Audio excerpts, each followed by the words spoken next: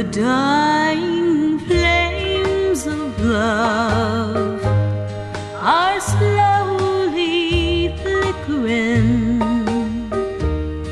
upon the walls of trees I've built around you.